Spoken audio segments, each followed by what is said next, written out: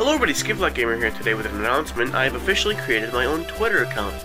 And I have my own Twitter page and whatever the heck that thing's called. I don't know, I'm not used to it yet. I only created it like 30 minutes ago, but that's probably out of date by the time this video comes out.